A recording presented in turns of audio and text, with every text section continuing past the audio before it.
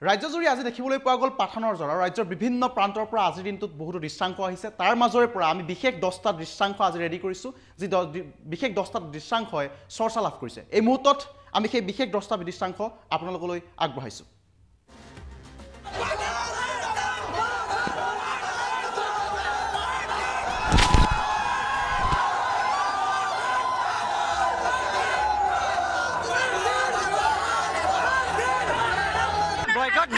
এটা মেছেজ দিব খোজো যে আপোনালোকে আহক মুভিটো চাওক যদি মুখেৰে বন্দে মাতৰম নোলায় তেতিয়া ক'ব যে অ বাইকট কৰিম। আহি কিনে এবাৰ চাই যাওক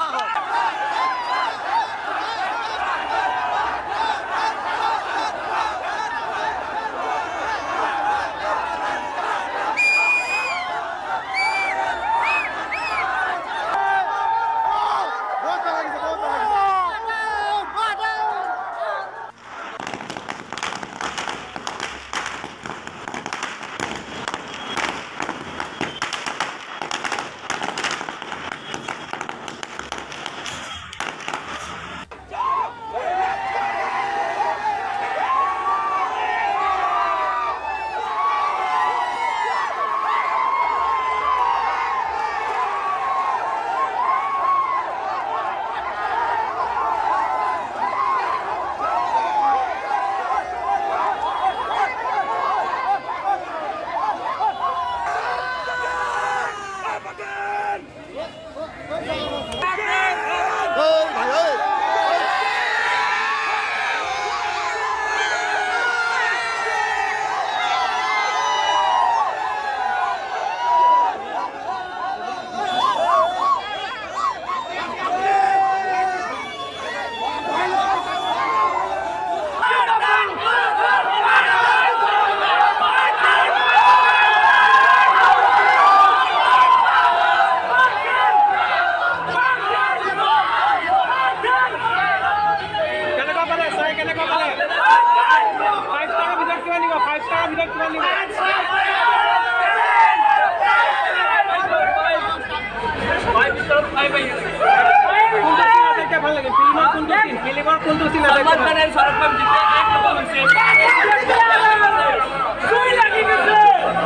বহুত জবৰদস্ত চলি আছে।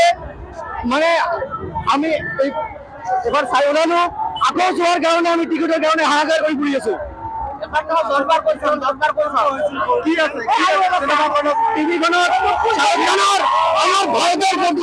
মৰম সেই মৰমৰ জিলিকি পাইছে আৰু যি কণ্ট্ৰভাৰ্চি হৈছিল যে ৰাজনীতিৰ আমি দেখা পাইছিলো তেনেকুৱা ৰাজনীতিৰ কোনো বেপাৰেই নাই ইয়াত।